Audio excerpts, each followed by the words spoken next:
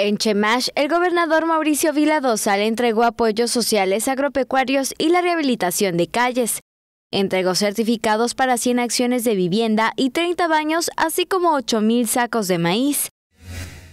Estamos entregando el programa de seguridad alimentaria, que es entregarles maíz comestible a todas las casas de Chemash.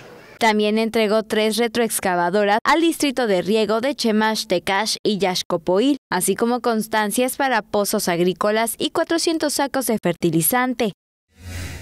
Y también estamos entregando el fertilizante para ahorita que siembren y vengan las lluvias, tengan el fertilizante a tiempo acompañado del alcalde Lucio Balam, inauguró la primera etapa de la rehabilitación de dos kilómetros de calles e inauguró el Instituto Municipal de la Mujer. ¿De qué sirve el Instituto Municipal de la Mujer?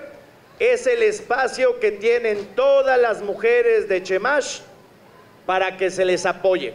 No solamente que se les apoye en empoderarlas en cursos, sino también para prevenir y atender posibles casos de violencia. En el espacio también se encuentra el Centro de Desarrollo Familiar Municipal y el Club del Adulto Mayor, donde anunció la repavimentación del estacionamiento. Con los apoyos se impulsará el potencial de los municipios y se transformará la vida de sus habitantes.